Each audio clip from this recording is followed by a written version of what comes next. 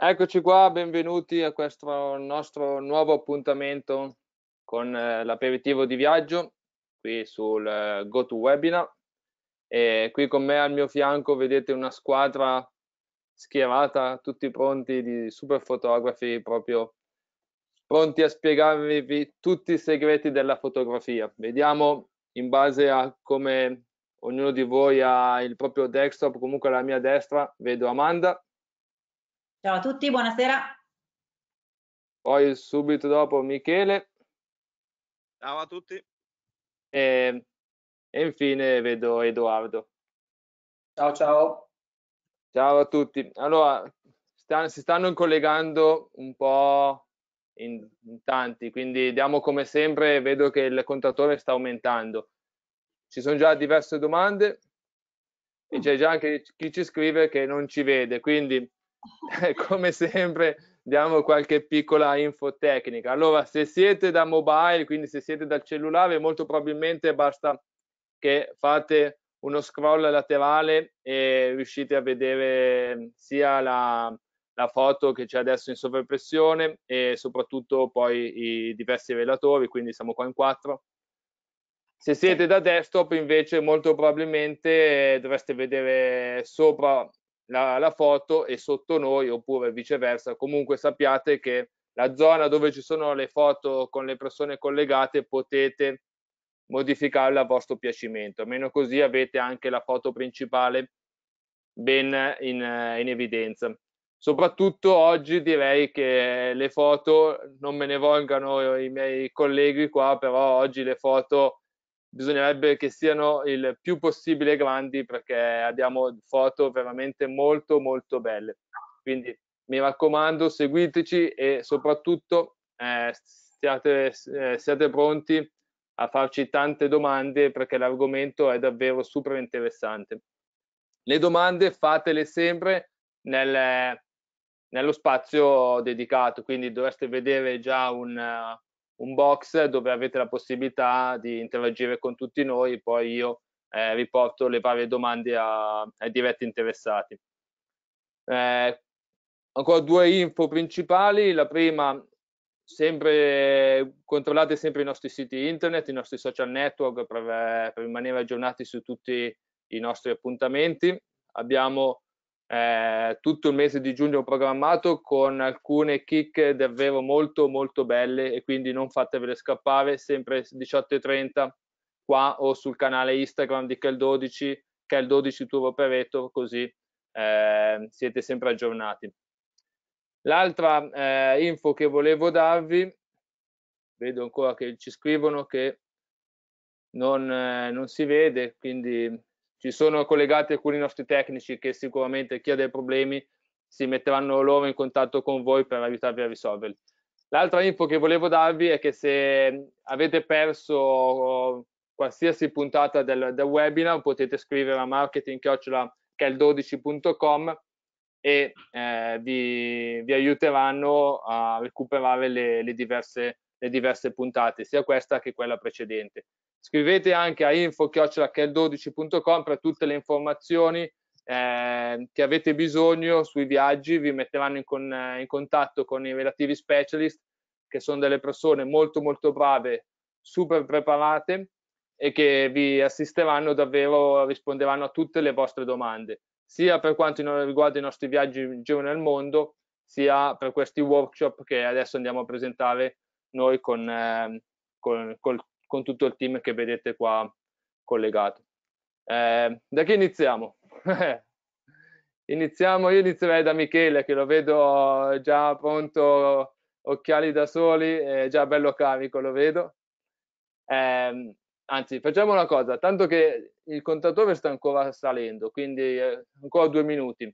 Facciamo una piccola presentazione personale, giusto una battuta a testa, se, se siete d'accordo, almeno così eh, inquadriamo un po', ci presentiamo tutti e dopo entriamo un po' bene nell'argomento della giornata. Quindi, Michele, scusa, ma un gesto di cavalleria concedimelo e inizierei da Amanda.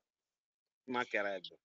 Ciao, buonasera a tutti, eh, sono Amanda Ronzoni, con eh, che il 12 sono eh, oltre parte del team eh, Photography Expeditions, mi occupo anche in particolare eh, di Islanda e di Giappone.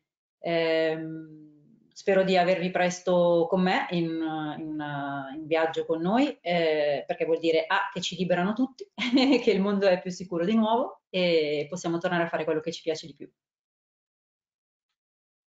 Vai Michele.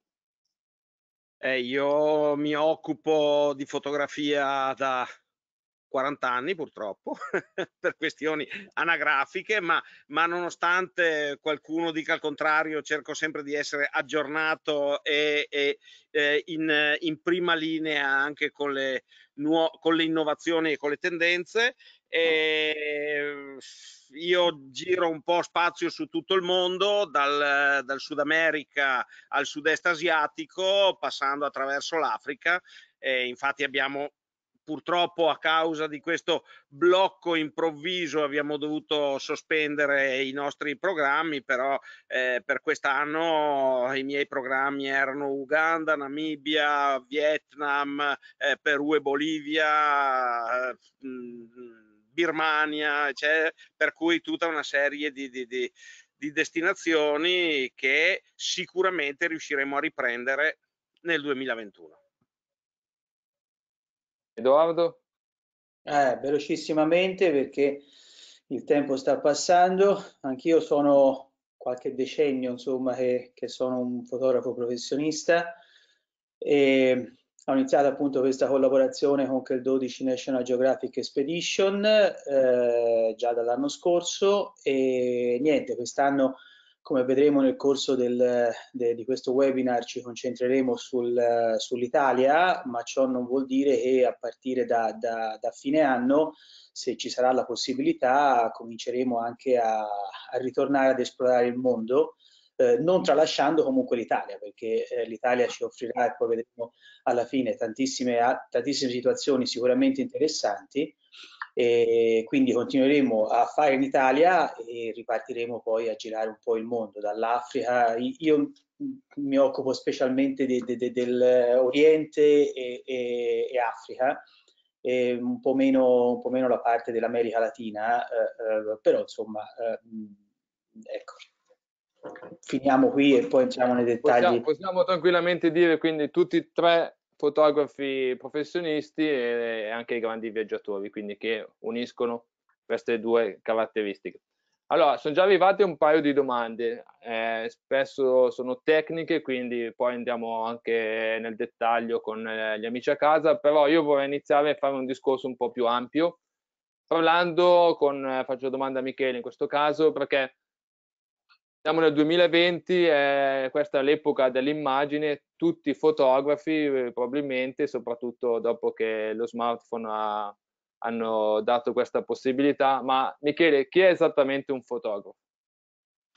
Allora, eh, eh sai, c'è una differenza fondamentale eh, fra un qualsiasi essere vivente è un fotografo. Gli esseri viventi in genere, ma limitiamoci agli esseri umani, hanno la capacità di percepire con gli occhi una serie infinita di immagini in tempi molto stretti. Queste immagini servono a qualsiasi persona per orientarsi, per decidere dove andare, per decidere di ricordarsi determinati punti di riferimento. Eh, queste immagini, questi milioni di immagini fisiologicamente vengono mantenute in una sorta di memoria RAM per pochi minuti, a parte qualche specifica, per esempio l'angolo dove c'è il semaforo piuttosto che dove c'è il panettiere e vengono cancellate, ok? Per cui questa è, un, è un'azione meccanica dell'occhio.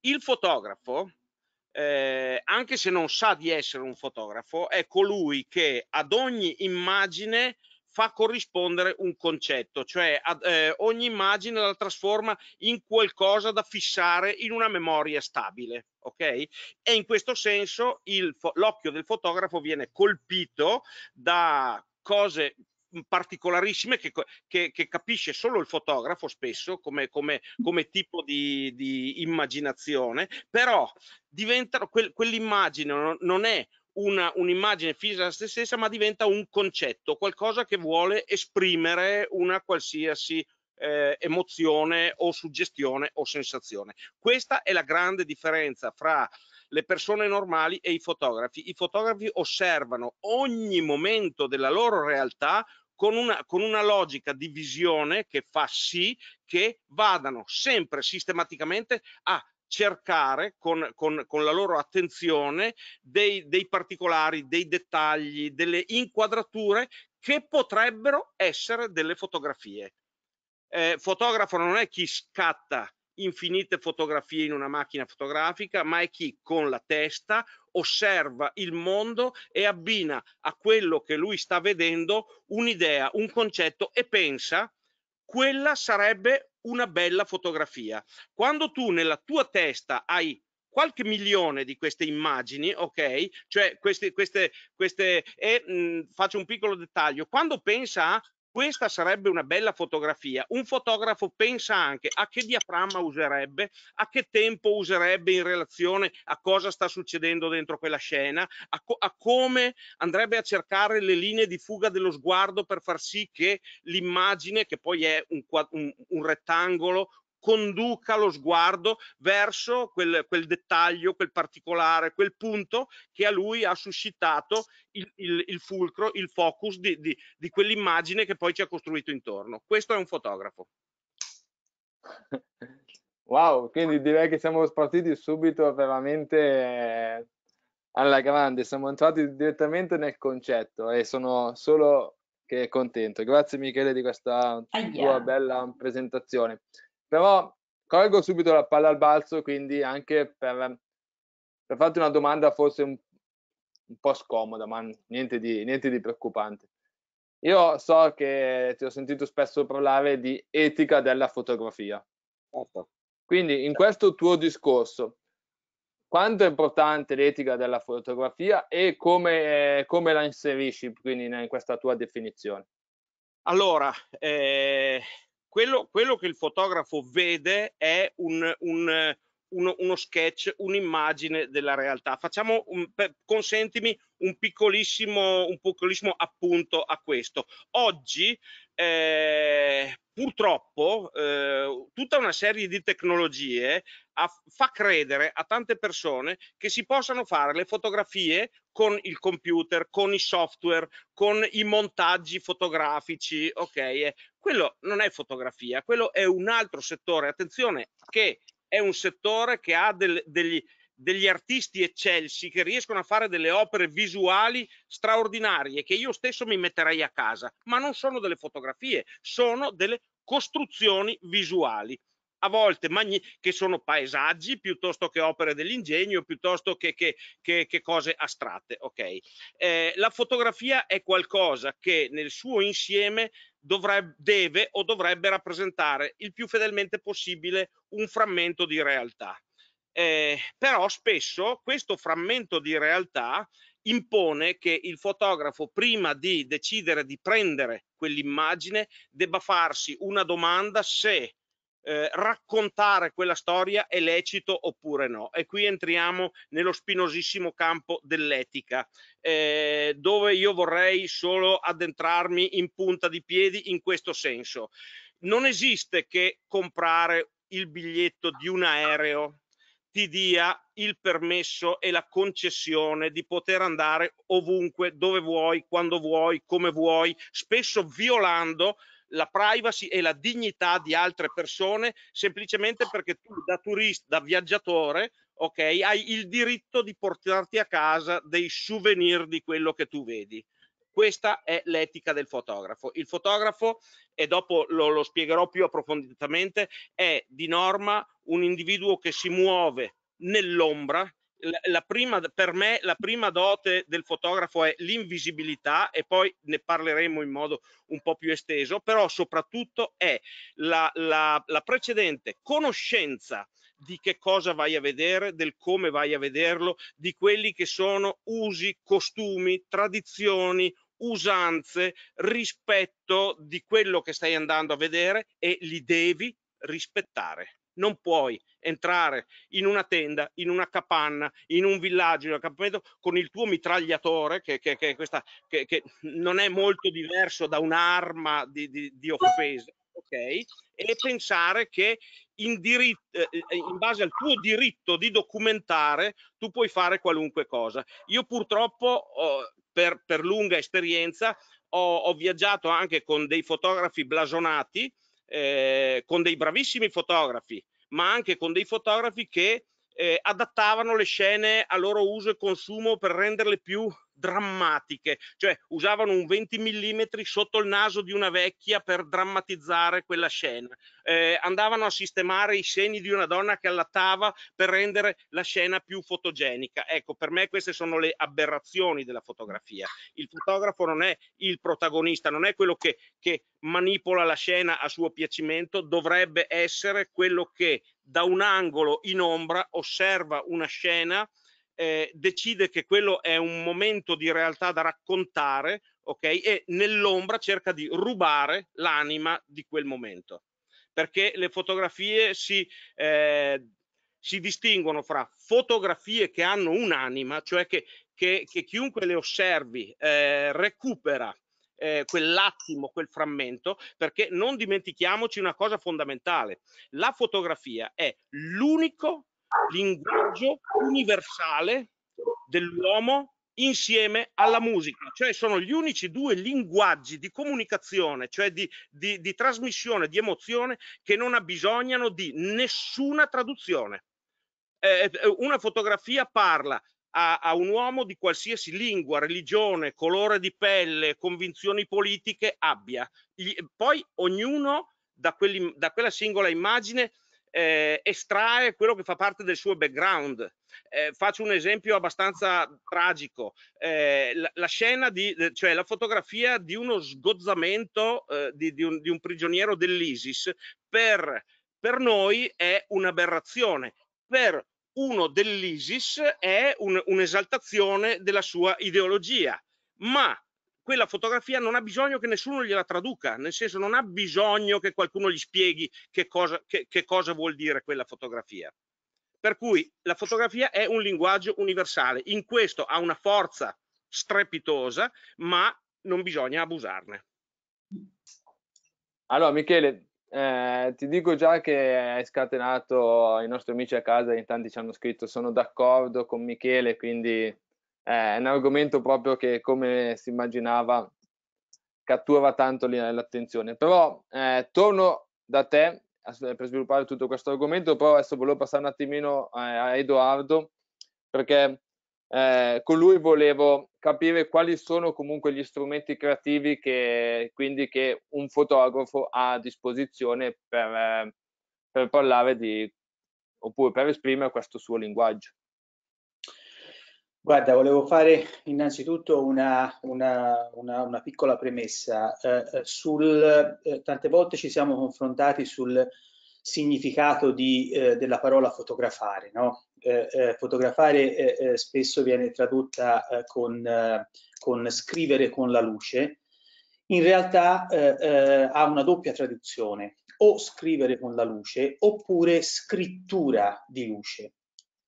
Può sembrare questo un, eh, una differenza eh, banale, in realtà concettualmente è una differenza veramente molto importante. E, e vado a spiegare il perché. Quando noi parliamo di scrivere con la luce, in pratica è come se noi avessimo un eh, foglio bianco sul quale andiamo appunto fisicamente a scrivere sopra, cioè siamo noi che scriviamo qualcosa che prima non c'era eh, come fa un, un, pittore quando dipinge una tela, no? Eh, è lui che dipinge un qualcosa che non c'era in quella tela. E questo è il scrivere con la luce. Se invece eh, eh, eh, ci avviciniamo all'altro concetto, cioè scrittura di luce, allora vuol dire che eh, il mondo, l'universo ha già scritto qualcosa quindi noi non facciamo altro che eh, premere il pulsante di scatto e nel momento in cui premiamo il pulsante di scatto del nostro apparecchio fotografico eh, non facciamo altro che isolare un qualcosa che già esiste, che già è lì. Cioè la fotografia, in fin dei conti, è, è, è il mondo che l'ha già costruita, è l'universo che l'ha già costruita. Io sono molto più eh, legato a questo concetto di fotografia. Il primo concetto di fotografia, scrivere con la luce, fa avvicinare l'autore quasi all'essere artista, no? l'artista è colui che crea qualcosa che non c'era prima. La seconda invece, scrittura di luce, fa avvicinare il fotografo più all'interprete. Ecco, io mi sento un interprete del mondo, come lo è un, un direttore d'orchestra, no? Cioè il direttore d'orchestra non è lui che ha scritto la musica, lui semplicemente eh, dà il suo, il, la sua interpretazione a una musica che hanno scritto altri e lui controlla tutti gli elementi che compongono l'orchestra il fotografo deve controllare tutti gli elementi che si trova davanti e sono gli elementi della natura, le persone, le cose, gli oggetti, eh, la luce in particolare. Quindi ecco, ed è curioso infatti se noi andiamo a, a, ad analizzare come in inglese si dice eh, fotografare, no? in italiano si dice io faccio una fotografia, in inglese si dice I take a picture, io prendo una fotografia. E questo è un concetto che mi piace molto perché noi in effetti prendiamo una parte di realtà e eh, congeliamo un frammento di tempo, cioè prendiamo un qualcosa che già c'è. Ovviamente cerchiamo di interpretarlo questo, cioè la, qual è la bravura del fotografo dovuta alla sua cultura, alla sua sensibilità, è quello appunto di interpretare quello che stai vedendo, quindi con un taglio particolare, con una ripresa dall'alto, con eventualmente anche con un mosso per dargli più dinamismo all'immagine. Però è fondamentale questo aspetto, cioè è legato al concetto stesso di fotografia. Fotografare è legato a quello che il fotografo sta vedendo.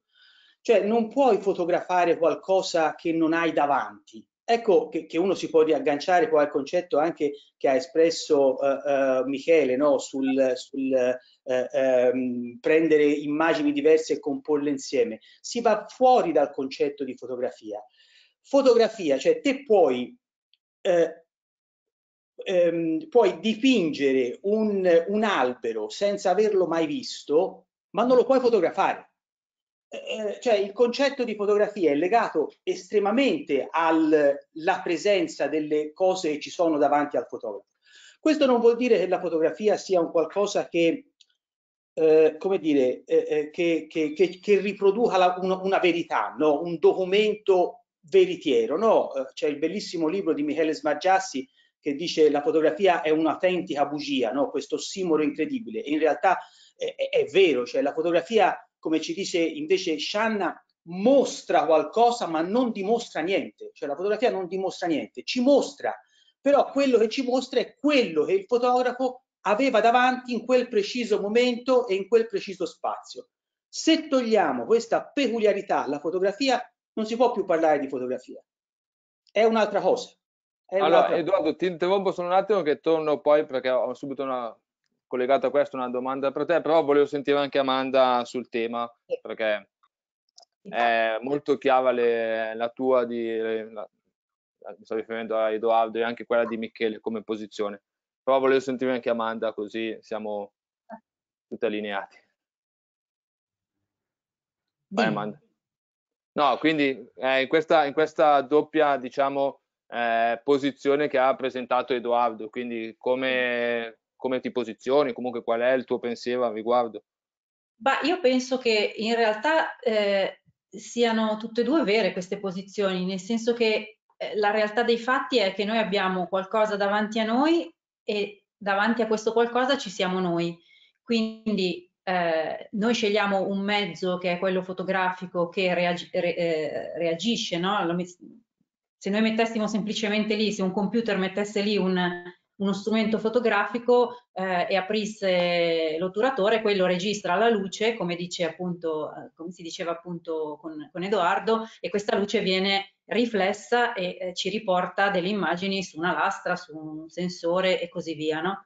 Però ecco, quella sarebbe semplicemente una cosa meccanica, no? un, sarebbe una registrazione di quello che c'è di là, noi in realtà in una fotografia raccontiamo anche qualcosa di noi, che è la nostra scelta di quella cornice lì, di quel frammento lì, no?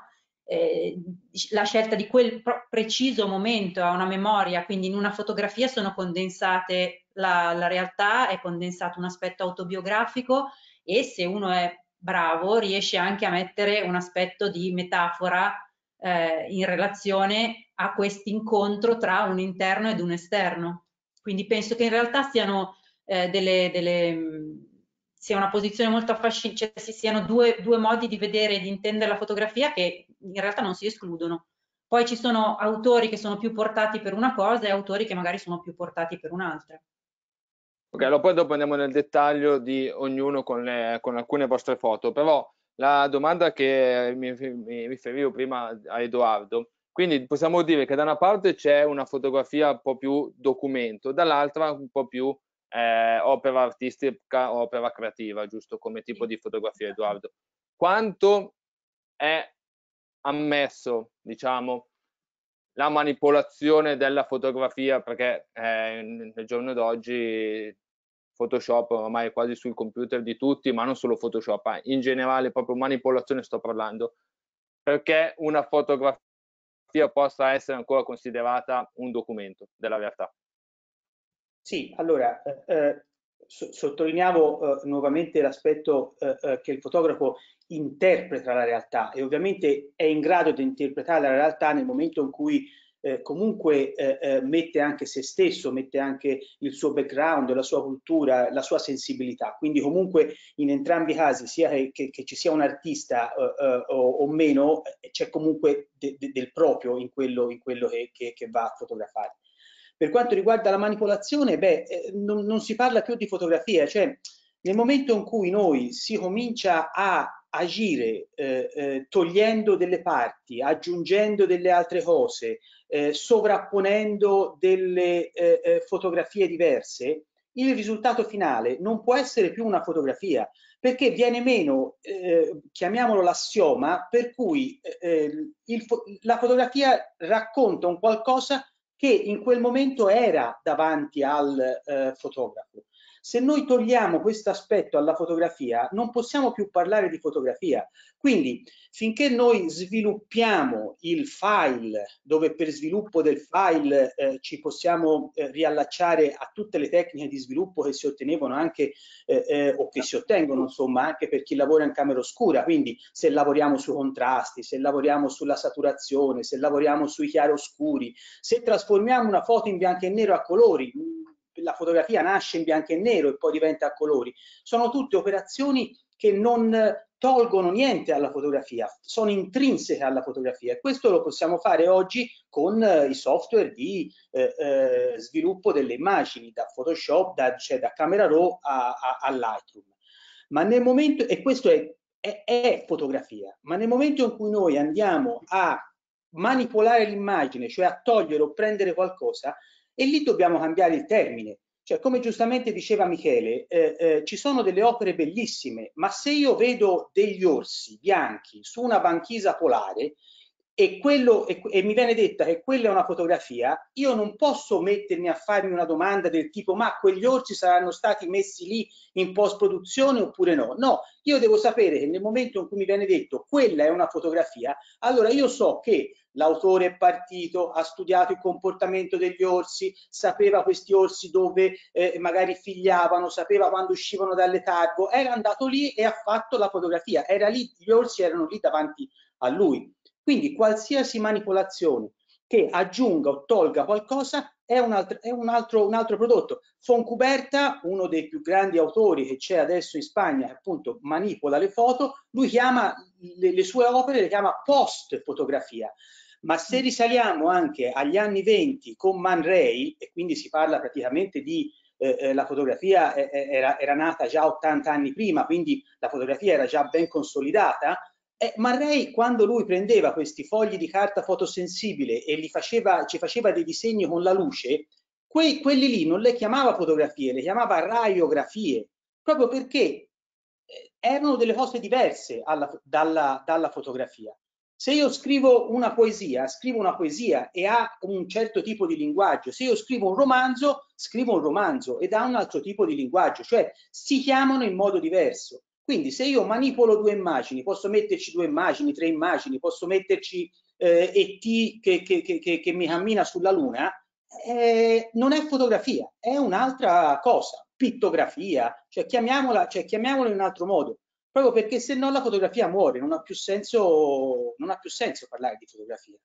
Michele, si torna quindi comunque al discorso dell'etica, certo. è molto importante. La fotografia deve, deve, avere un'etica, quello che diceva Edoardo, cioè le, le, eh, questo ho visto e questo racconto e, e so e faccio il fotografo. Se invece dico io, io, sono un artista visuale, parto da uno o più file fotografici e creo una cosa che in natura non esista. Se sono straordinariamente bravo, mi chiameranno artista visuale. Se non sono bravo, mi chiameranno uno che manipola delle immagini, ma non posso pretendere di dire che io faccio il fotografo il fotografo, perdonatemi, su questo io sono abbastanza drastico e talebano, con tutto il rispetto che ho per tutti quelli che fanno opere visuali, ma il fotografo è quello che vede qualcosa, la costruisce nella mente, la percepisce con gli occhi e sente l'anima con il cuore, e questo l'ha detto Bresson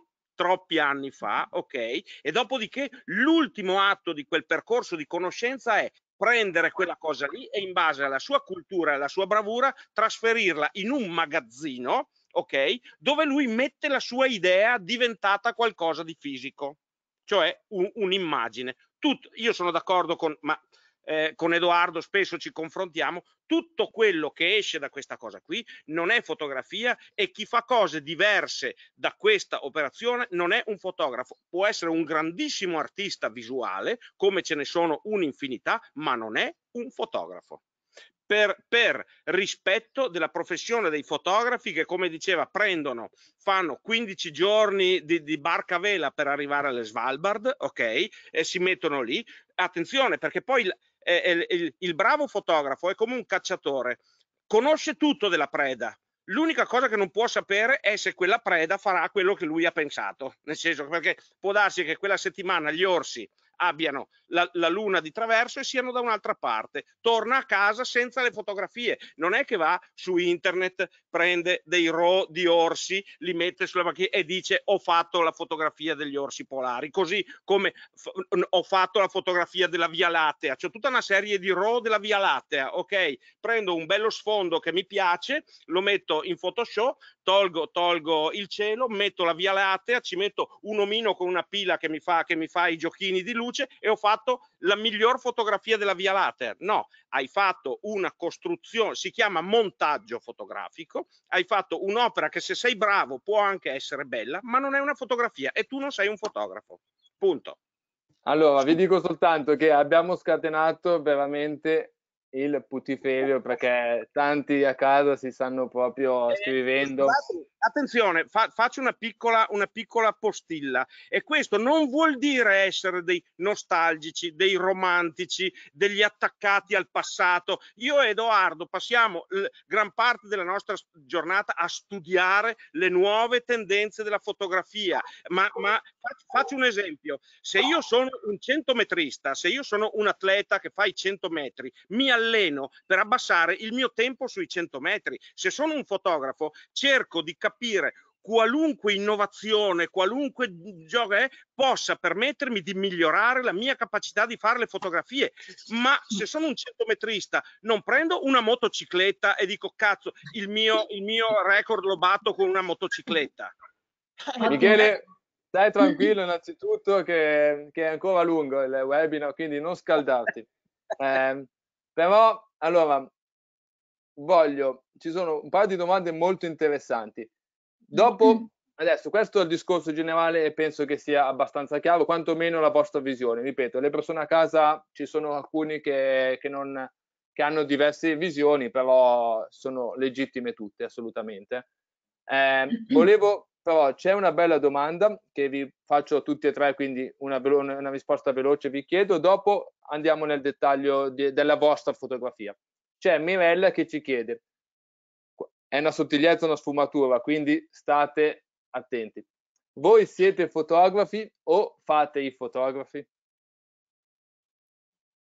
Io sono fotografo, assolutamente. Vai, vai. Eh, eh, eh, e anche qui mi riallaccio al, al, a, a, Bresson quando diceva fotografare vuol dire mettere sulla stessa linea di mira la mente, gli occhi e il cuore, fotografare è un modo di vivere. Mm. ed è questo, insomma, cioè, eh, eh, la fotografia è veramente un modo di vivere, è un linguaggio e per quanto mi riguarda è il linguaggio che mi permette, vuoi per i miei come dire, limiti eh, eh, dialettici, limiti di, di, di socializzazione che, che, che, piano piano col tempo comunque ho superato, però la fotografia mi ha permesso veramente di entrare in contatto con gli altri eh, eh perché fa parte di me, quindi assolutamente cioè non sì. faccio il fotografo, io sono fotografo. Michele? Io sono un fotografo, ma eh, ti spiego anche perché, perché qualu- eh, io nella mia giornata eh, in una qualsiasi giornata mi capita almeno 20 volte di dire questa sarebbe una bella fotografia. Quella fotografia lì, che è un dettaglio che il fatto che io la metta o non la metta in una macchina, ma entra nella mia testa, diventa un sample nella mia testa. Que- quell'immagine lì che io memorizzo come fotografia, ok, mi servirà poi quando ne avrò bisogno per scattare un'altra fotografia analoga, sapendo già cosa io voglio scattare dall'altra parte del mondo. Questo si chiama sample. Nelle, nelle nostre macchine, che sono delle ammiraglie, ci sono dentro da 30 a 36 mila sample, cioè pochi lo sanno, ma esiste un motore dentro la macchina fotografica che ha 30.000 immagini, ok? E su, quelle immagini sono i suoi sample. Quando lui la fotografia mica le vede le cose, cioè come fa a dirti ah, su, su, questa, su questa fotografia metto questo tempo e questo diaframma? La fa semplicemente perché ha dei sample dentro nel, nel, nella sua memoria che gli servono per dice questa cosa qui assomiglia a, a uno dei miei 30.000 esempi per cui questa è la taratura, ok? Nel cervello di un fotografo le, i sample sono qualche milione per cui, per cui, anche quando la macchina fotografica mi dice guarda che sarebbe da fare così, io gli dico no, sì, per, tu hai 30.000 sample, io, io, ne ho qualche milione in testa, la facciamo come dico io, che, che ho maggiore, maggiore, capacità di vedere quella fotografia rispetto a te scatola di ferro, ok? Però... Eh, Michele si è bloccato, ti, Michele sta andando a scatti. Allora, passo la parola a Amanda e dopo torniamo a Michele con, che è lungo il discorso, quindi vai Amanda. Ma io penso di avere più che altro una natura fotografica, nel senso che mi accorgo che, appunto, come dice Michele, molto spesso quando vedo qualcosa me la immagino già in una cornice, me, mi, immagino, uh, mi immagino cosa potrebbe dire qualcuno a cui la mostro e mi viene abbastanza spontaneo uh, dialogare anche con gli altri usando le immagini, nel senso che molto spesso mi accorgo che anziché per esempio parlare con qualcuno e dirgli oggi sono felice, oggi mi è capitato qualcosa di bello, oggi è, mh, mm, mi viene più spontaneo mandare una foto o, o, o cercare di, di, comunicare attraverso una foto, quindi eh, ecco, io mi sento così.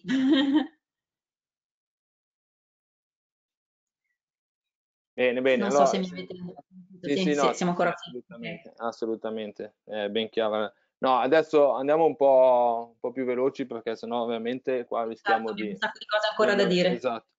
Però eh, colgo l'occasione della domanda di, di Antonella, vedo, e per farla, per, è una domanda che volevo fare io, Michele. Che lei, Antonella ci dice, una domanda per tutti e tre, qual è la vostra firma? ovvero un fotografo ha una sua firma attraverso la quale si può riconoscere e la mia domanda era quali sono, Michele, Michele quali sono le basi della tua fotografia? Allora, io ho tre, ho tre basi fondamentali. Eh, eh, secondo me, eh, per, per finire anche la risposta di prima, il fotografo, un fotografo è quello che per esperienza e per cultura riesce a vedere le cose prima che succedano.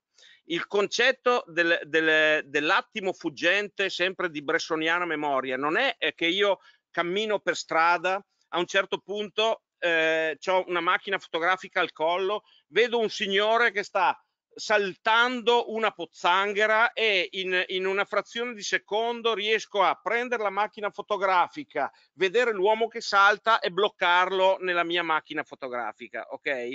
Questo è quello che si fraintende come attimo fuggente. Mm, mm, mm. L'attimo, l'atti, la, la previsualizzazione. Mi sentite? Sì, sì. sì, sì.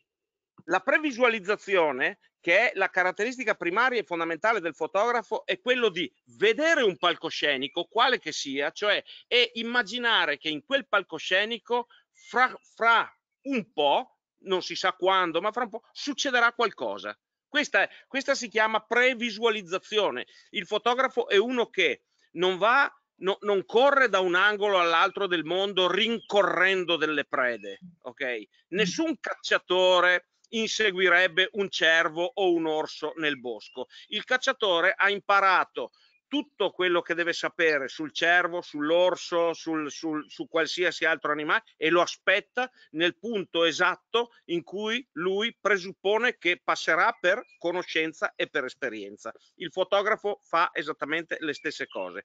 Il concetto di previsualizzazione, io, io vorrei spiegartelo eh, se mi fai vedere quella fotografia eh, di un monaco in una processione Esatto, perché, perché è proprio quello che volevo, se riusciamo anche a contestualizzarlo, anche così rispondendo anche a qualche domanda che ci, che ci hanno posto gli amici a casa, se facciamo anche una piccola introduzione dicendo dove è stata scattata, mi chiedono. Certo. Allora, allora eh, io ho un mio una mia metodologia per fotografare. Quando io vado in un qualsiasi posto, vicino o lontano, la prima cosa che faccio è un sopralluogo senza le macchine fotografiche, cioè io non devo essere condizionato dal bisogno o dalla voglia di scattare una fotografia. Devo sapere dove sono, cosa succede eh, quali sono i punti topici in cui io potrò raccogliere delle belle immagini, ok? Per cui faccio questo sopralluogo senza le macchine fotografiche. In questo caso sono, sono a Mandalè, chi è che ha un cane? Sento un cane. fuori. Ci sono delle... Eh, in questo caso sono a Mandalè. A Mandalè succede una cosa particolare. Alle, tutte le mattine tutti i monaci di tutti i monasteri intorno alla città si riuniscono, fanno un'unica grande processione e, e, e corrono, eh, scusami, camminano verso il monastero principale perché nel monastero principale viene distribuito l'unico pranzo della giornata. Siccome io voglio fotografare questo evento, eh, vado a fare il sopralluogo, cerco di capire il, il, luogo, il posto, eccetera. E a un certo punto identifico un punto sulla strada dove un raggio, un raggio di luce largo circa 30 centimetri attraversa di netto la strada e io decido che quello è il punto che a me piace per fare la fotografia che io vorrò fare. Eh, questo succede alle 11 di mattina, per cui io il giorno dopo alle 7, mh, mm, ho sempre un gessetto di solito, se, ognuno ha le sue fisime, io ho il mio gessetto e ovviamente se, se, sono le 11 di mattina segno esattamente sul marciapiede il punto che a me piace per, per riuscire a, idealmente a prendere questa inquadratura. La mattina dopo non vado alle 11, vado alle 7, piazzo il cavalletto, metto il cavalletto sul punto che io ho selezionato, metto la macchina sul cavalletto e ho un telecomando in mano. Perché? Perché spesso io fotografo dal cavalletto, perché la mia visione oculare del mondo, ok, dentro l'obiettivo della macchina fotografica è condizionato, a sguardo libero mi consente di capire che cosa io voglio fotografare, perché tanto il mio scenario, il mio palcoscenico l'ho già inquadrato. D'accordo? Benissimo. Cominciano ad arrivare i monaci e io potendo lavorare a, a mente libera, guardo quale potrebbe essere il mio successo, il mio soggetto. Ne passano decine, decine, decine. A un certo punto, a, a 50-60 metri, vedo questo bambino di cui mi colpiscono gli artigli. Eh, io alzerei la fotografia perché di, di, questa fotografia a me hanno colpito le, ma le mani di questo bambino che ha questi, questi piccoli artigli magri a, agganciati a quello che è il suo unico tesoro, il suo patrimonio, cioè la ciotola dove gli viene messo il riso. Ok?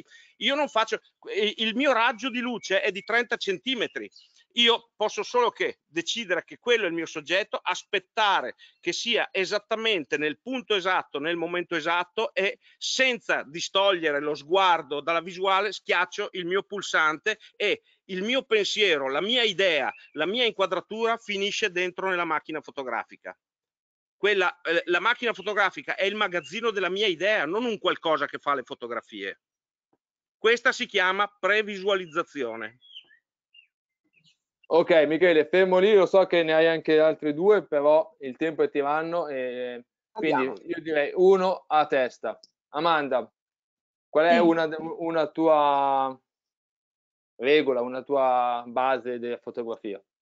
Ma eh, io mh, che amo molto la fotografia di paesaggio, eh, in realtà eh, cerco di veramente di lasciarmi portare mh, dal paesaggio nel paesaggio, nel senso che eh, purtroppo la fotografia di paesaggio penso che sia una delle più bistrattate perché appunto si, è anche sottovalutate, perché non c'è la componente umana con cui in qualche modo si può dialogare, non c'è eh, diciamo la, la componente del, dell'animale che è sempre interessante, quindi appunto ti puoi eh, eh, appostare, cercare di fotografarlo in un modo particolare, eccetera.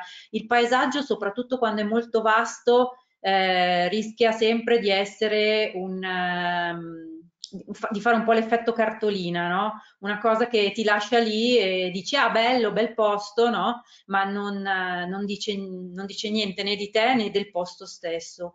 Quindi eh, secondo me la cosa veramente importante è riuscire a entrare in armonia con quello che stai vedendo, cercando di farti portare dentro e di creare un frame, una, come, diceva anche, come, diceva anche, Michele, di creare una situazione, eh, di scegliere un'inquadratura che a sua volta ti riesca a far portare dentro poi chi vedrà la tua immagine, eh, cercando anche di fornire delle suggestioni. No? Eh, la, in questo caso siamo in Bolivia, per esempio, prima eravamo in Islanda nei fiordi eh, occidentali con, con, una situazione di, di, inverno, qua siamo in Bolivia invece sul, sul, lago, eh, sul lago, Salato eh, in un periodo in cui ci sono le piogge e quindi il lago è completamente bagnato e c'è questo effetto specchio che crea un'atmosfera che definire onirica è, è, è, a dir poco, eppure questo è uno scatto, le cose stavano esattamente così come, come, come le vedete.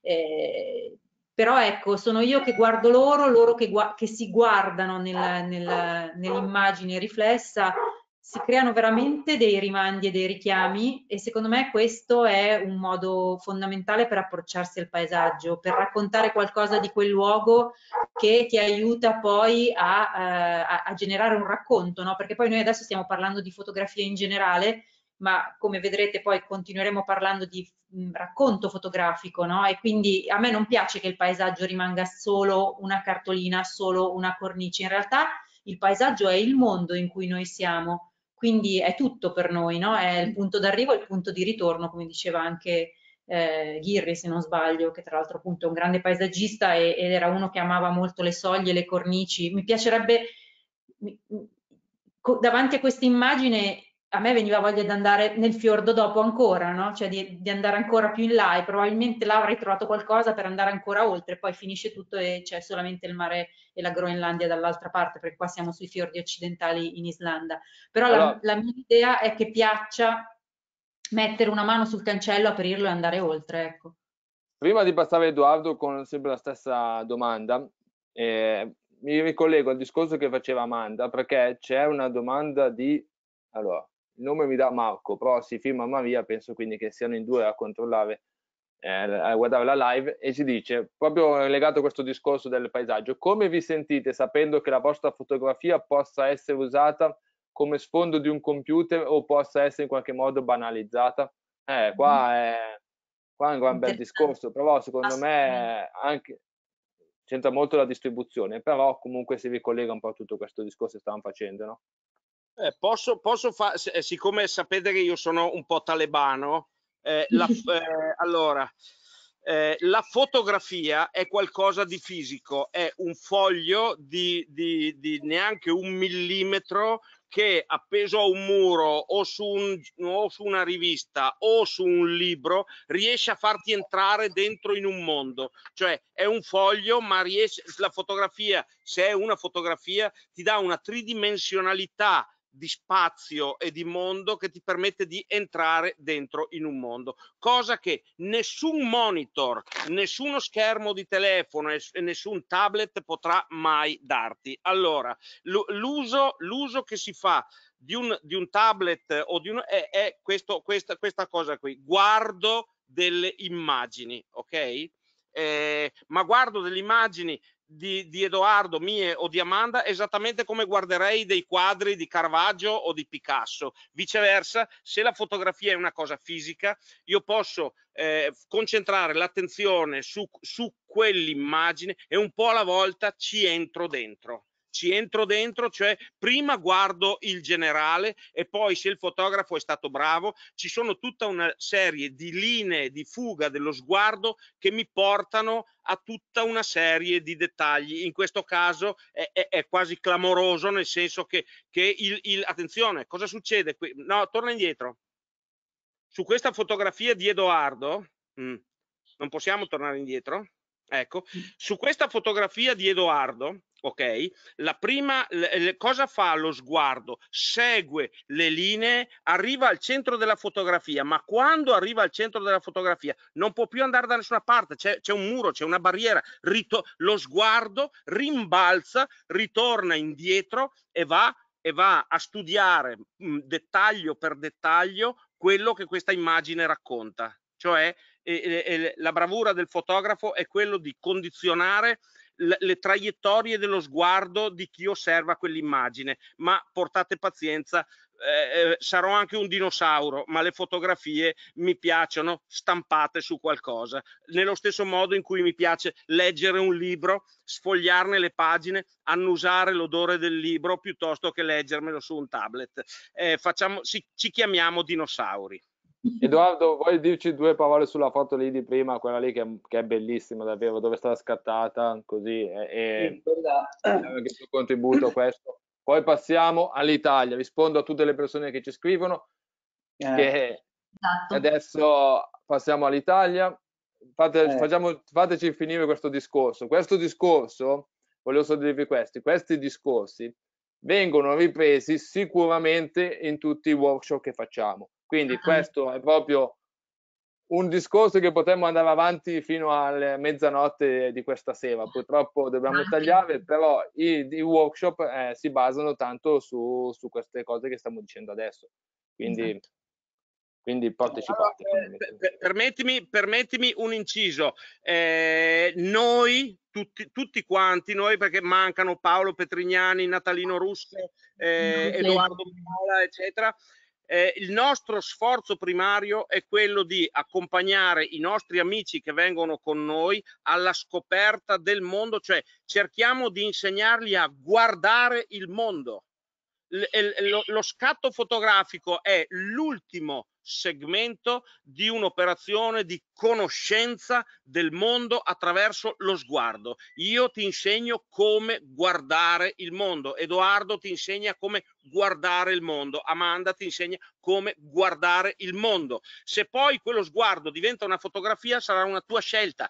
Parliamo anche di tecniche, parliamo anche di, di, di dettagli, ma eh, io ho un, un mio bilanciamento abbastanza preciso. La fotografia è 5% di tecnologia, 15% di tecnica, 80% di creatività, cioè la fotografia devi avere... d'accordo, Michele. E infatti questo discorso che stiamo facendo, che per alcuni potrebbe sembrare filosofia, invece è la base di tutto base. Il, il, lo scattare fotografico.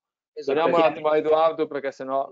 Tornando, tornando al... mi riallaccio uno al discorso che faceva Michele sul, sul fatto che ci sono molti che dicono che non si può parlare di fotografia addirittura se non è stampata, quindi eh, eh, proprio eh, eh la stampa diventa parte integrante del concetto di fotografia e in effetti la parte proprio tattile eh, eh, è, è, importantissima.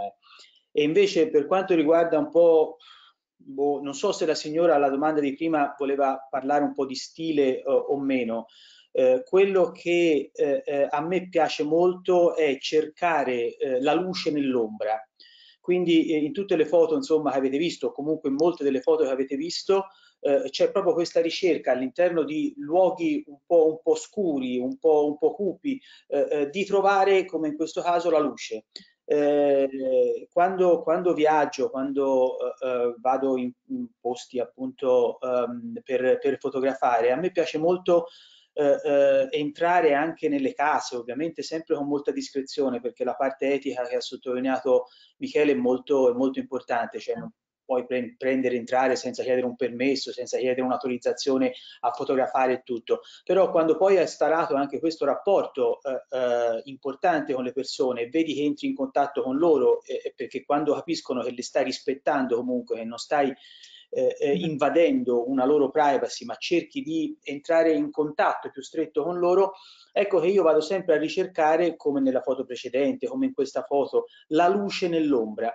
Ed è un po' una, una, caratteristica, quindi quando vedi, che so, una capanna dove esce fuori del fumo, beh, allora molto probabilmente si vengono a creare delle situazioni interne di luce interessante, in questo caso all'interno di una chiesa eh, io avevo già preso in contatti con questo, con questo prete ortodosso perché ero in, in Georgia eh, lo scorso febbraio a fotografare un, eh, una, una, cerimonia molto, molto interessante, quindi l'avevo già conosciuto e per cui gli avevo chiesto il permesso se potevo stare di lato eh, all'interno della chiesa a seguire tutta la, la, celebrazione. Ovviamente avevo messo la macchina totalmente silenziosa, per cui eh, non si sentiva il click della macchina fotografica perché scattavo semplicemente premendo il dito sullo schermo, sul monitor, per cui non, avevo chiesto il permesso, non disturbavo, mi ero messo di lato. E in questo caso, come negli altri, c'è questa ricerca della luce in un'atmosfera di ombra. Ed è un po' una, una, una caratteristica che... che Edoardo, che... Ti, ti, ti, riporto tantissimi complimenti che ci sono giunti proprio su queste foto che abbiamo visto, anche quella dei due bambini prima che sono veramente bellissime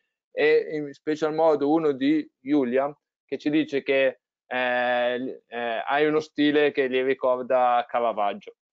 Eh, oh, dai, accidenti. Quindi è veramente un bellissimo complimento e secondo me era importante, ci tenevo a, a sottolineartelo. Eh, ora che hai detto Caravaggio, giusto, giusto un, un, un, appunto e poi dopo se no poi andiamo lunghi, ma eh, ehm, la differenza fra eh, eh pittura e fotografia, no? Cioè, eh, eh, cito soltanto una cosa, cioè la fotografia crea, cioè scusami, la pittura crea la luce, mentre la fotografia trova la luce e, e, e, non per nulla appunto quando siamo in, in fotografia si dice, dice guarda dice questa, questa, fotografia è caravaggesca oppure questa fotografia eh, ci ricorda la luce del, della finestra di Vermeer oppure guarda questo c'è proprio una, un, un, sistema di illuminazione si chiama Rembrandt eh, eh, proprio perché il pittore la creava quella luce lì mentre il fotografo la, la, la deve trovare quella luce non la può, non la può creare. Questa era un po' la, la differenza tra, i due, tra le due cose. Ecco, anche qui siamo dentro appunto una capanna in Uganda, quindi in Uganda eh, eh, io mi sono girato e ho visto questa persona al quale ho chiesto il permesso di fotografare, ma questa persona ha continuato a guardare in terra come se non mi avesse visto e, e io ho scattato, l'ho ringraziato e questo continuava a guardare in terra come se non l'avessi visto. Tra l'altro voi pensate che io uscivo dal sole quindi sono entrato dentro la capanna e non vedevo assolutamente niente, quindi lui scuro in questa maniera non vedeva assolutamente niente, a un certo punto i miei occhi si sono adattati all'ambiente e, e, e, ho visto questa scena, cioè è, è, stata veramente un impatto emotivo anche molto, molto forte, eh, sempre seguendo il solito concetto, muoversi nell'ombra alla ricerca della luce. Allora, eh, mi ricollego proprio a queste foto perché sono le ultime, ma bellissime anche tutte le altre che abbiamo visto sia di Amanda che di Michele, per eh, puntualizzare una, una cosa molto importante. Queste foto che vedete voi a casa sono bellissime e sono anche difficilissime da, da fare, cioè da realizzare a livello tecnico.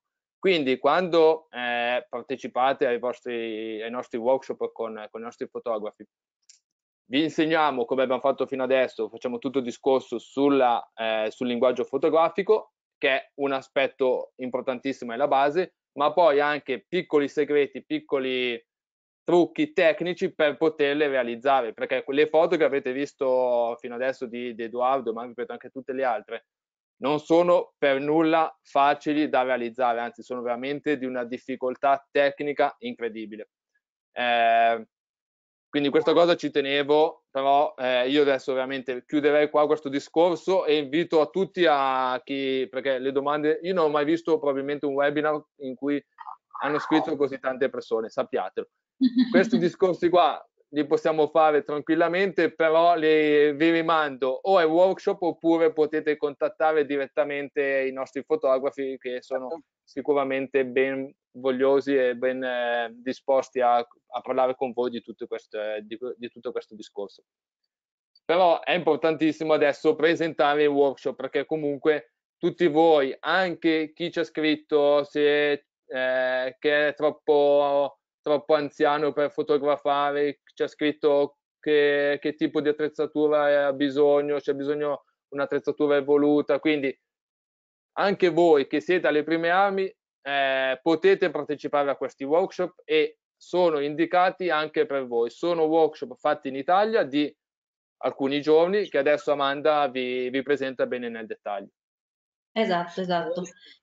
Amanda, scusami solo un attimo, faccio solo un incastro che adesso qualche purista gli vengono i capelli dritti, ok? La differenza... Occhio che ci sono già troppe domande, eh, Michele, mi raccomando. No, uh, un telefono di ultima generazione dove io posso gestire diaframmi, tempi, eh, addirittura teleobiettivi, eccetera, e una macchina professionale da 5.000 euro, sta nella qualità finale del file. Cosa vuol dire? Che se io devo fare un poster di 3 metri per 6 per, per una qualche azienda, non posso farla con un telefono perché, perché no, non ho la qualità fisica per, per farlo. Ma, eh, ma, dal punto di vista concettuale, cioè siccome abbiamo detto la macchina fotografica deve essere solo il magazzino dove io metto le mie idee, tanto è una, una, una reflex con un obiettivo da 5.000 euro, tanto è eh, dal punto di vista concettuale concettuale il, il mio cellulare. Io non mi vergogno di dire che qualche volta faccio delle fotografie con il cellulare perché mi, mi dà dei risultati ok? Non sono un purista che dico se non hai, se non hai almeno tre reflex e 12 obiettivi non sei degno di fare, ok? La fotografia, come diceva Edoardo, è un modo di essere, non è avere delle attrezzature. Le attrezzature mi servono poi in base a cosa io devo fare. È ovvio che se devo fare dei poster per Armani a Milano 18 x 6 non posso farle con un telefono, ma la fotografia è un modo di essere, non un'attrezzatura, non un, per cui e, e, e, tutti noi insegniamo a guardare, per cui sia che sia un neofita, sia che sia uno che pensa e magari lo è un esperto, trovano nei nostri workshop lo spazio giusto per poter portare a casa un'esperienza, per poter portare a casa qualcosa, nel senso di dire ho imparato a guardare le cose in modo diverso, in modo approfondito. Ogni cosa che abbiamo detto questa sera nei nostri workshop viene approfondita perché abbiamo ovviamente più tempo e anche ad personam in modo abbastanza esaustivo. Io direi che il nostro obiettivo adesso è che qualcuno inizi a fotografare in uno dei nostri workshop e poi nel suo proseguo della carriera arrivi a fare le foto per Armani da stampare in centro a Milano. Quello è il nostro obiettivo dei nostri workshop adesso. Però iniziamo a presentare i workshop per Amanda, quindi vediamo un po' quali sono. Esattamente. Eh, il team appunto National Geographic Photography Expeditions eh, è nato in, per presentare tutta una serie di viaggi e eh, se guardate sul sito eh, sia nationalgeographicexpeditions.it che, che al 12.com trovate tutta una serie di indicazioni di viaggi che eh, io, Michele, Edoardo, gli altri ragazzi del gruppo che sono Natalino, eh, Edoardo, eh, Miola ehm, e Paolo mm, Petroni ehm, accompagniamo generalmente in, in giro per il mondo. Quello che è successo recentemente con questa pandemia ci ha portato per fortuna direi, anche a considerare tutta una serie di itinerari in Italia e in omaggio gran, alla grande tradizione culturale, perché il nostro è credo uno dei paesi, se non il paese più bello del mondo, eh, l'abbiamo chiamato appunto Viaggio in Italia. Ognuno di noi fortunatamente ha, ha, una regione di riferimento, abitiamo tutti in regioni diverse, questo ci ha permesso, come potete vedere, di spalmare questa, queste proposte per il momento ognuno nella propria regione. Quindi tra l'altro giochiamo in casa, quindi siamo anche motivati da, da una vicinanza ai paesaggi, alle situazioni che andremo a, a vedere eh, e questo sulla, sulla mh, fotografia di paesaggio chiaramente apre tutta una serie di, di stimoli allora, incredibili. Amanda, scusa se ti interrompo soltanto, però vorrei proprio ripeterli perché magari chi ha certo, problemi certo. con visualizzare le, no, le certo, immagini certo, vado subito, abbiamo... a presentare anche a presentare il fotografo che, che, che li accompagna. Allora, intanto abbiamo le Dolomiti, eh, dove abbiamo appunto Michele, che, che è un uomo di montagna eh, e, credo che sarebbe sarà la persona migliore per portarvi a scoprire le montagne più belle del mondo, veramente le Dolomiti sono, sono, sono state preda di, di, di, di fotografi, di scalatori, di, di ammiratori veramente da tutto il mondo. E, e, tra l'altro hanno delle situazioni di luce veramente molto particolari e Michele ha messo in piedi veramente un programma, anzi due, molto interessanti che vi terranno in piedi dalla mattina fino alla sera tardi per vederle veramente sotto qualsiasi luce. Eh, quindi è veramente un'esperienza un, di contatto proprio di voglia di fare, di fare, di vivere la montagna e di fare fotografia di montagna. Ne, ne ho osativa sarà uno dei soggetti. anche quelle che sono le, le, caratteristiche, tra l'altro, del territorio, tutte le leggende eh, legate a, a, a, alle montagne, ai boschi, eh, è una tradizione straordinaria da scoprire.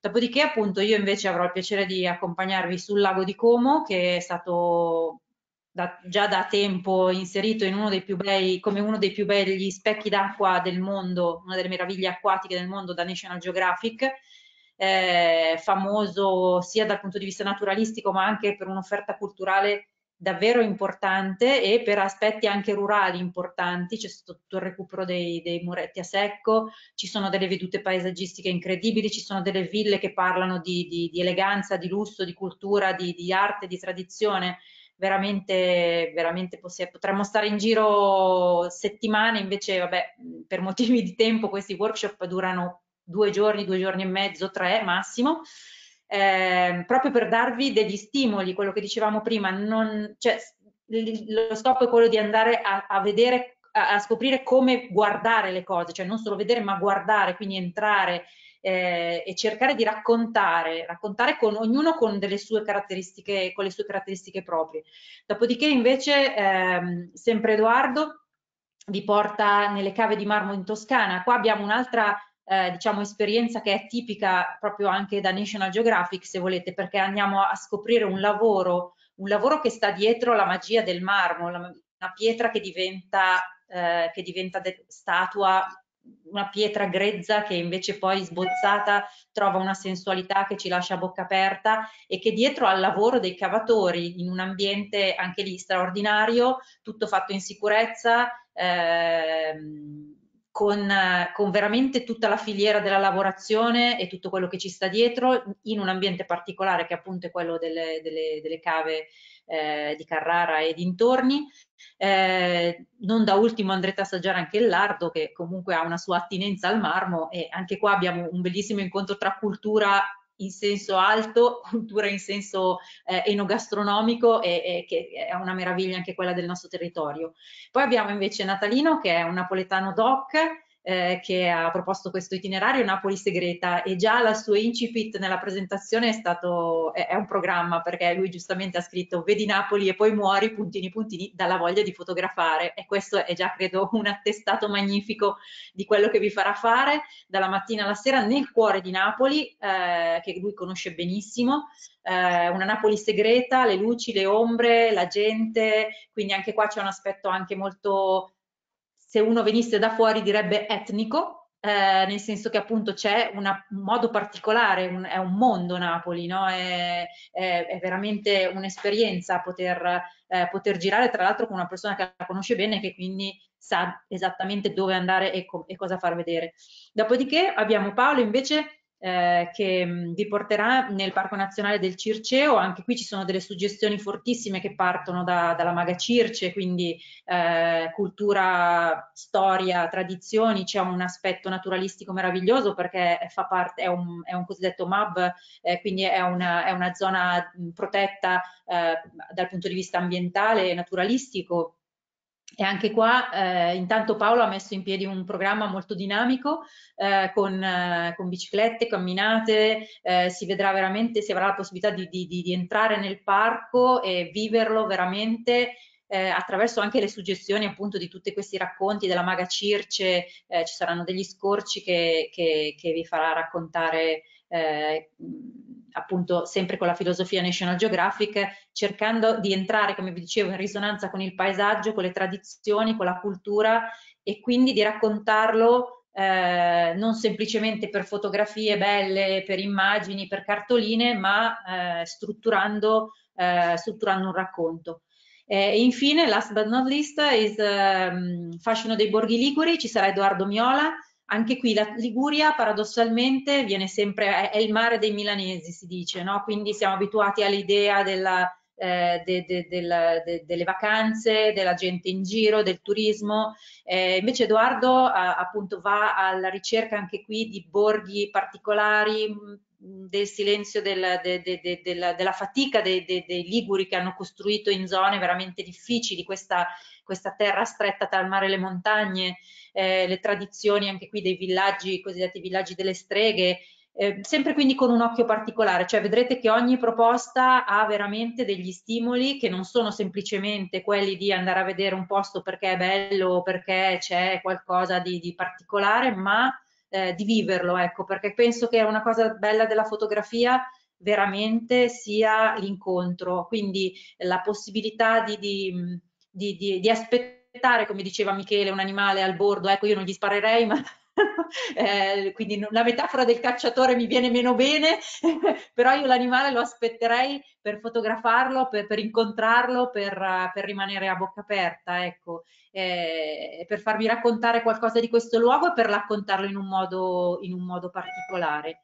E perché così magari oltre a essere, oltre a essere io che facendo foto di un paesaggio eh, lo rendo memorabile, magari anche in qualche modo lascio traccia di me in questo paesaggio e il paesaggio magari si, si ricorderà di me in qualche modo. Eh, scusate, no, non vorrei che qualcuno pensasse che sono un fautore della caccia, proprio... proprio... No, no. no, no, era solo la, la metafora. Che... esatto, esatto. Quindi adesso io penso che Michele, meglio di chiunque altro, potrà presentare il suo mm, in particolare allora, sulla sulla, sì, sulla, sulla eh, giusto veloci perché sono quasi le 8 di sera e la, le persone ci dicono che hanno fame giustamente. Eh, voglio, voglio solo due, due, dati importanti importantissimi. Allora per chi è interessato può scrivere direttamente a info.12.com verrà messo in contatto con la persona, con lo specialist di riferimento e quindi avrete tutte le informazioni eh, disponi eh, disponibili e necessarie proprio per approfondire bene il workshop. Questi workshop, Michele, di quanti giorni sono e di che periodo stiamo parlando?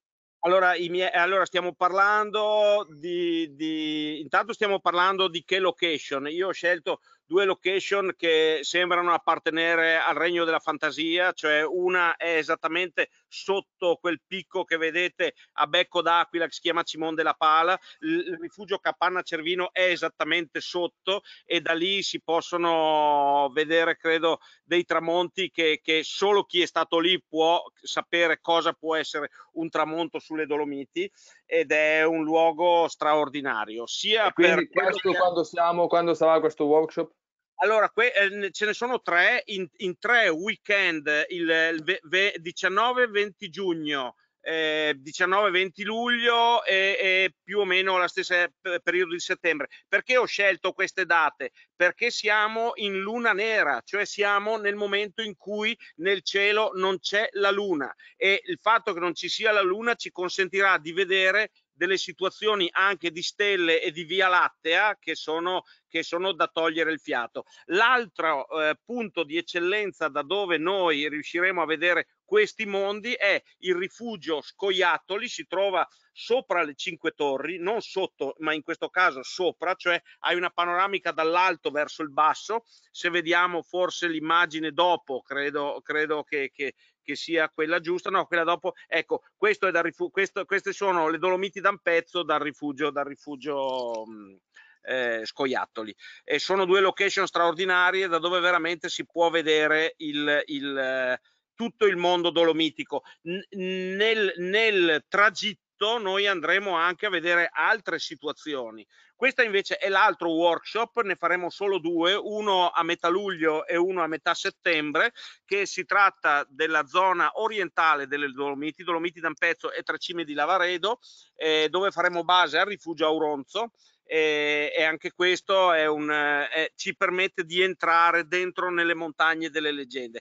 Ci sono sempre delle piccole escursioni di eh, 20 minuti, mezz'ora, tre quarti d'ora che in, inframezzano diciamo, le sessioni fotografiche eh, ed è un, un'esperienza, una full immersion nelle montagne più belle del mondo che credo non abbiano uguali. Io ne ho viste tante di montagne nel mondo eh, e le Dolomiti oggettivamente anche non da partigiano sono veramente gli skyline più belli del mondo.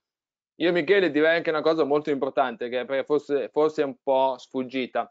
Tu vivi in montagna, vivi in quei luoghi lì, quindi veramente probabilmente non c'è persona più adatta di te in questo caso per presentare questi, questi due itinerari. Quindi sono cosa... un montanaro dolomitico e come tale sono tagliato con la scura, per cui i miei, i miei giudizi spesso sono abbastanza taglienti, però sopportatemi così. Assolutamente sì. Edoardo, il tuo workshop invece è una... Tutti sono bellissimi, ma la tua è proprio una chicca probabilmente. Ce lo vuoi presentare così velocemente anche te, ricordando quanti giorni è e soprattutto in che periodo? Allora, eh, il, ehm, dunque, il mio workshop eh, ancora dobbiamo stabilire le date precise, però partiremo da, dai primi di luglio eh, eh e ci sarà un, weekend allungato, quindi dal venerdì alla eh, domenica. Verrà fatto eh, con, ehm, sì, ne verranno fatti due.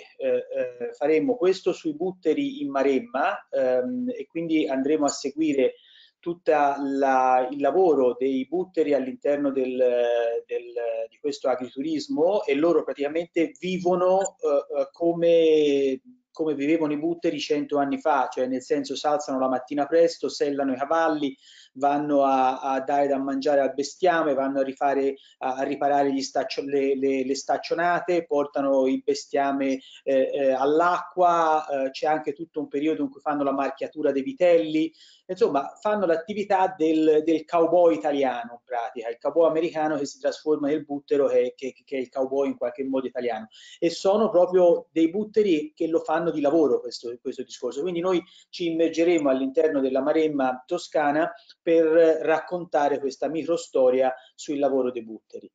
L'altro invece workshop verrà fatto appunto con eh, sede eh, logistica a Villa Bianca, che è al Lido di Camaiore, eh, che è appunto una, una, una villa dove, dove, dove, alloggeranno le persone che, che, che, poi parteciperanno al workshop e eh, da lì poi ci sposteremo per andare proprio a documentare le, tutte le fasi della eh, lavorazione del marmo andremo eh, proprio eh, su queste cave, il paesino che vedete eh, ai piedi di queste due cave è Colonnata, che è famoso appunto per, per il lardo di Colonnata, e, e, tra l'altro anche il, oltre a seguire appunto tutta la lavorazione del marmo, quindi entreremo proprio dentro una cava, ovviamente tutto in, in, estrema sicurezza, e seguiremo proprio il taglio del marmo, la lavorazione del marmo, come queste persone passano una giornata all'interno di, di una cava di marmo e anche lo stesso lardo che eh, eh, è appunto un, un, un mangiare eh, semplice, umile, ehm, deve la sua particolarità proprio al marmo, nel senso che il lardo viene fatto, eh, viene lavorato all'interno di un marmo particolare di Carrara ed è l'unico marmo che non assorbe il sale.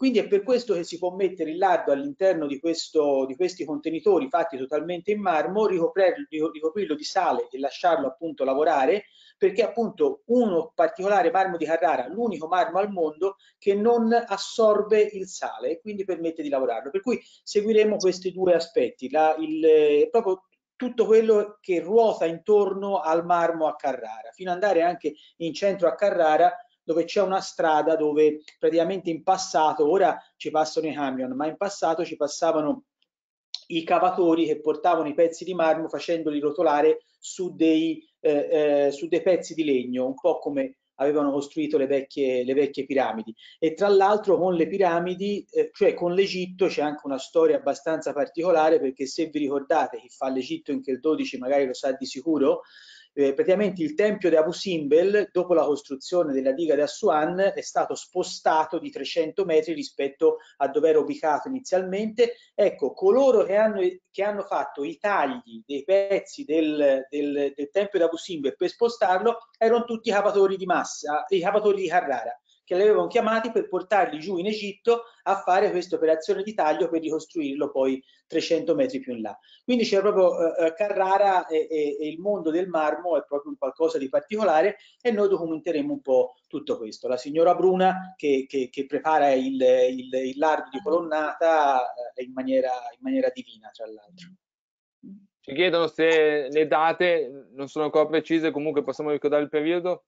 Da luglio praticamente a ottobre, eh, ma nei prossimi giorni, date tempo una settimana, magari comunque scrivete se siete interessati, così poi vedrete ricontattati quando ci saranno appunto le date precise, ma nell'arco di una settimana eh, ci saranno un po' tutte, tutte online. Esatto, ricordo davvero sono sempre a questo discorso appunto del Covid fondamentalmente, per cui sapere esattamente quali sono le eh, eh, disposizioni e i protocolli che devono essere seguiti, per cui certo. quando avremo la chiarezza ai primi di giugno su quando sarà tutto, eh, allora possiamo tranquillamente fornire. La cosa importante da dire è che comunque è per l'estate 2020, quindi questa Per l'estate 2020 assolutamente. Stiamo partendo, esattamente. Estate autunno estate esatto. autunno poi continueremo. Adesso abbiamo anche non li abbiamo anticipati tutti perché ci sarà anche eh, un, un, tour dei vulcani ci sarà, ci sarà Matera con le gravine di Puglia ci, sarà, ci saranno i vigneti non spoilerare troppo Michele non spoilerare troppo. Già questi qua secondo me hanno già fatto venire l'acquolina in bocca a tante persone quindi quello che volevo dire è seguite il sito perché il sito verrà aggiornato sistematicamente e continuamente con tutte le nuove proposte. Noi andremo fino alla fine dell'autunno con queste proposte. E, soprattutto non, non, non, vi fate spaventare, cioè nel senso eh, sentivo prima Filippo che diceva ma che macchina devo avere oppure devo essere già un fotografo, no, cioè nel senso è aperto veramente a tutti, se sei un fotografo apprenderai da fotografo, se sei un principiante apprenderai da principiante, ma non c'è un, un, esame d'ammissione, assolutamente, sono veramente eh, aperti a tutti. Esatto. Eh, questi, questi, workshop abbiamo deciso di chiamarli Viaggio in Italia proprio perché vanno a, come ha detto Michele, eh, Amanda prima, vanno a, proprio a, a toccare diverse zone dell'Italia.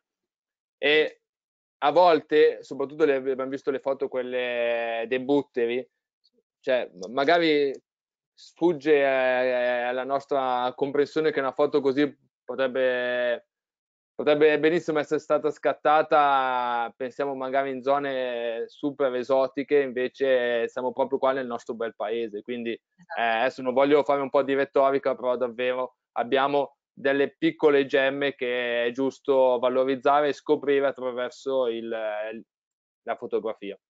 Esatto. Amanda, eh, quindi abbiamo parlato di Dolomiti, abbiamo parlato di, di, Toscana e poi arriviamo nel nostro amato lago Faccio di Como. una piccola nostro, ammenda. anch'io abito qua, quindi. Esatto. Faccio una piccola ammenda perché prima ho clamorosamente presentato Paolo Petroni che non esiste nel nostro team, è Paolo Petrignani, quindi Paolo perdonami, ho sbagliato, mi sono accorta dopo ma dopo un po' mi, mi, la lingua mi fa, beh, ci lecca. Niente, allora vi, mm, io vi porterò, come vi dicevo, sul lago di Como, eh, il lago di Como eh, che eh, a me ha sempre ricordato, soprattutto in certe ore della, della mattina molto presto, della sera tardi, un fiordo. Ho avuto casa lì per 26 anni, quindi lo, lo conosco veramente, eh, veramente bene, eh, quindi spero di potervi far scoprire degli angoli anche sconosciuti. Eh, ci concentreremo nella zona della, eh, sempre in due giorni e mezzo, nella zona della Tremezzina, perché è quella sicuramente eh, più famosa, ma anche che offre più, più, possibilità dalla passeggiata nei boschi a, appunto al, agli spunti quindi naturali, a quelli culturali, le chiese romaniche, le grandi ville piene di cultura che sono Villa Carlotta, Villa Balbianello, abbiamo Bellagio che è la punta centrale con una, la punta Spartivento con, con, un panorama incredibile, questa è Villa Carlotta che vedete nella, eh, nella, nel, nell'immagine.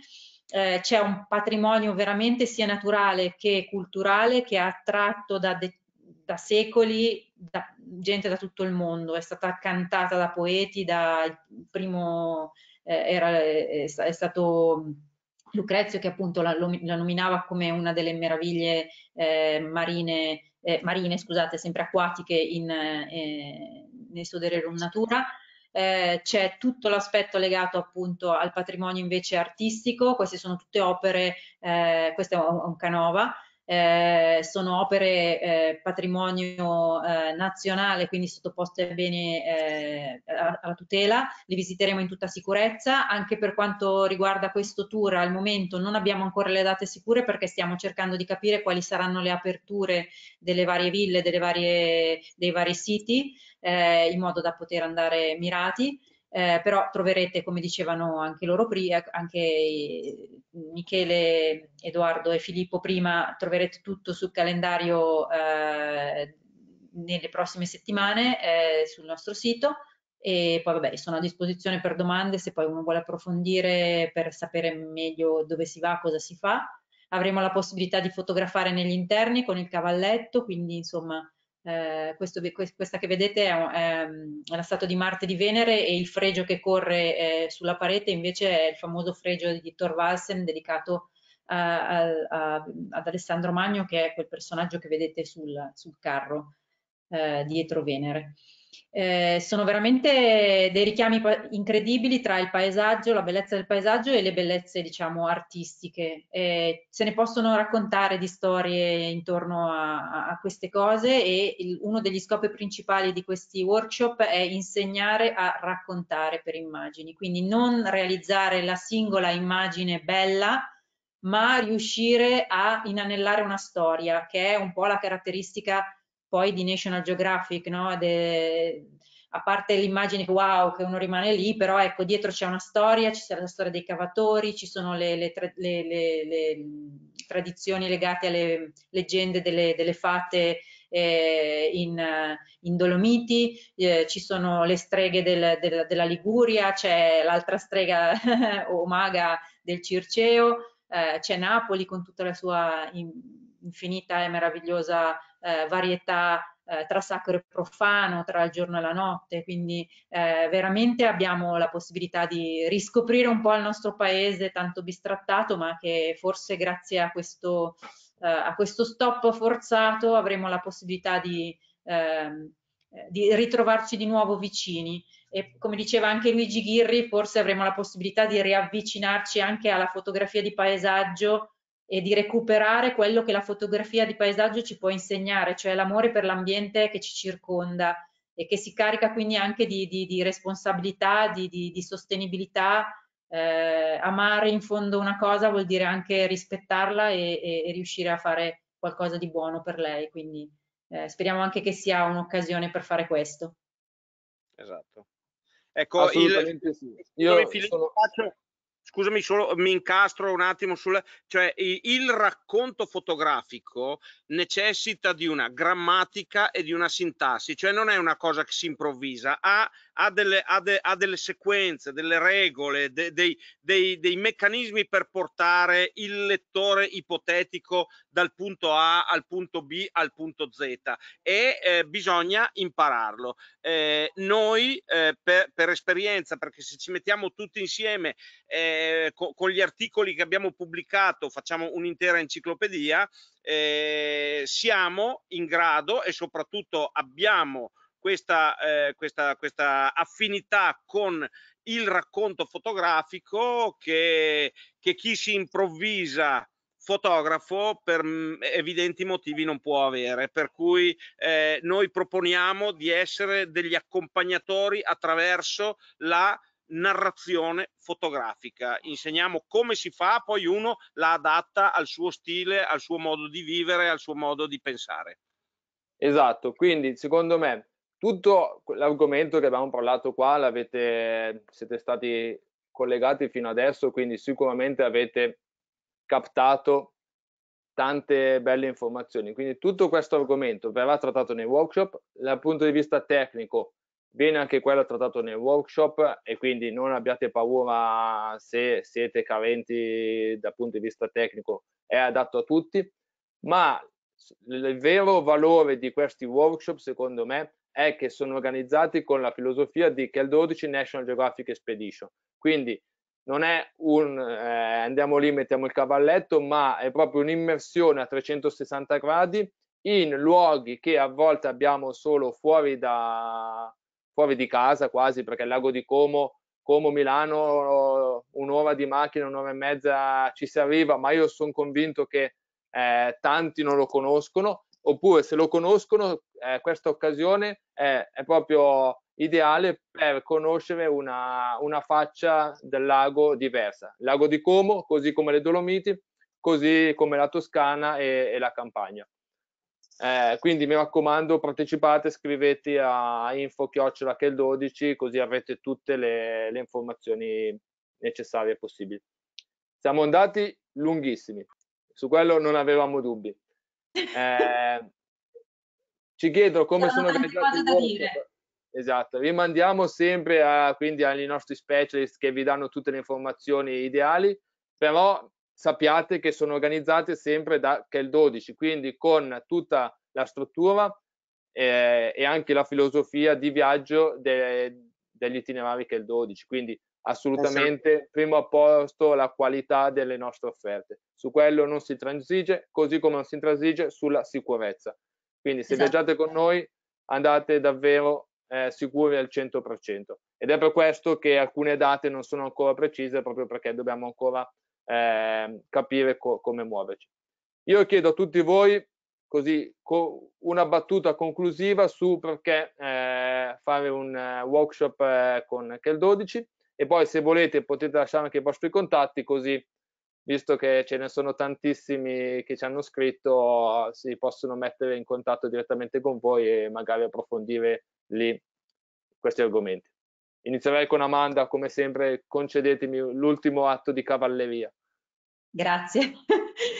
Allora, eh, appunto, io vi invito perché anche chi potesse, cioè anche chi dovesse conoscere già le location che andremo a visitare è sempre una buona idea per mh, tornare, anzi in fotografia tornare fa sempre bene, intanto perché eh, è proprio conoscendo un posto, conoscendo una situazione, conoscendo un, il proprio soggetto che si, gli si rende maggior giustizia. Quindi comunque che sia persone che non hanno mai visto le Dolomiti o persone che le abbiano già viste, se ci andranno con Michele sicuramente riusciranno a fare qualcosa di più e di, e di inaspettato che, che, che, che magari andando semplicemente a farsi un giro e basta con un'altra persona, perché comunque lui è veramente the man per andare in, in, in, questa location.